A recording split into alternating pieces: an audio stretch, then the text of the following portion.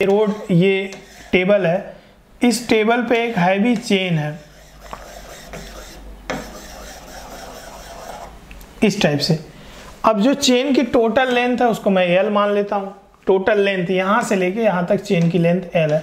और यहाँ नीचे जो लटका हुआ लेंथ है, उसको मैं वाई मान लेता हूँ। ये कितना हो जाएगा? एल माइनस वाई आ जाएगा। क्वेश्चन समझना मैं क्वेश्चन समझा देता हूँ। एल माइनस वाई ठीक है?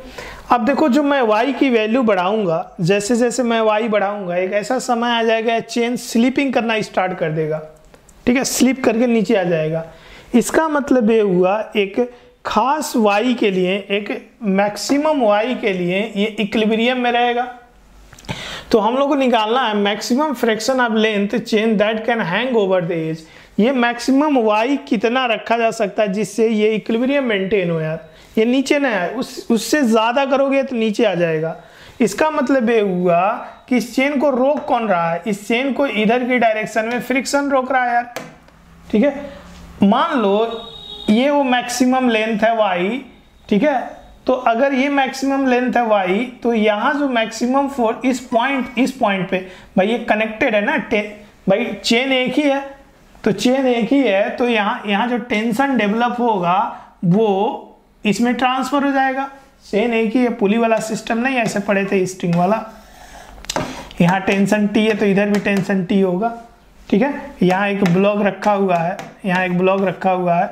तो ये ये ब्लॉक बढ़ाओगे तो ये ब्लॉक नीचे आ जाएगा। एक स्पेशल, इस, एक स्पेशल, समझ रहे हो ना? एक स्पेशल मास के लिए ये यहाँ पे रेस्ट में था। क्वेश्चन किए थे ना हम?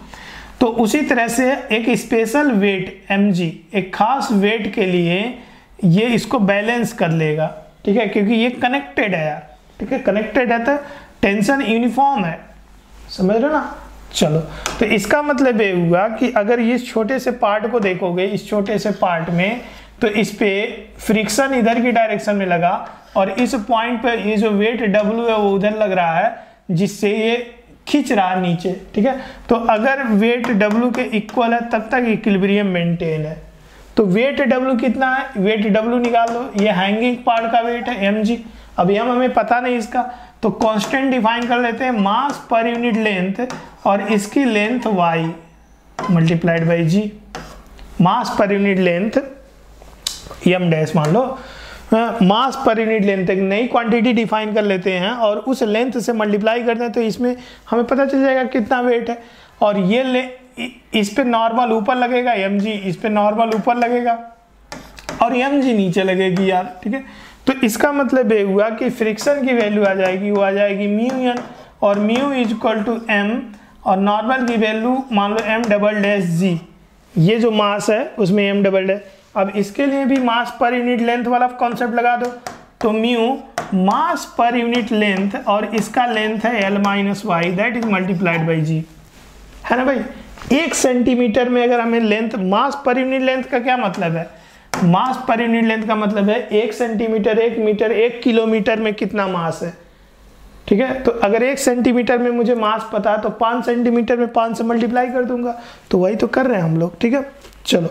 अब इन दोनों को इक्वेट कर दिया जाए तो y की वैल्यू आ जाएगी, ठीक है? तो इन दोनों को इक्वेट कर दिया जाए, ये वेट और ये फ्रिक्शन तो इन दोनों को इक्वेट कर दिया जाए तो mass per unit length Y G that is equal to mu mu mass per unit length और मास पर यूनिट लेंथ और ये आ जाएगा जी एल माइनस वाई इसका मतलब ये हुआ मास पर यूनिट ये सब खत्म हो गया और जी ने जी को ख़त्म कर दिया तो Y is equal to mu L और माइनस म्यू वाई तो वाई की जो वैल्यू आ जाएगी वाई की value mu L upon one plus mu के इक्वल आ जाएगी। अब म्यू की वैल्यू दिया होगा यहाँ पे पॉइंट टू फाइव तो पॉइंट टू फाइव म्यू है और लेंथ कितना है? हाँ परसेंटेज निकालना है। तो पॉइंट टू फाइव इसका मतलब एक बार परसेंटेज निकालना तो वाई अपान ले L multiplied by hundred point two five और ये वन पॉइंट टू फाइव और मल्टीप्लाइड बाई हंड्रेड ठीक है? तो पॉइंट ने पॉइंट को ख़त्म कर दिया तो 1.5 मतलब ये आ जाएगा 20 परसेंट परसेंटेज निकालने आता ना सबको तो यह आ जाएगा 20 परसेंट मतलब इस चेन में अगर 20 परसेंट से ज़्यादा लेंथ रखोगे तो ये नीचे आ जाएगा मेरे भाई। ट्वेंटी परसेंट से ज़्यादा अगर लेंथ रखोगे तो ये नीचे आ जाएगा। और अगर कम रखोगे तो बढ़िया, अच्छी बात है।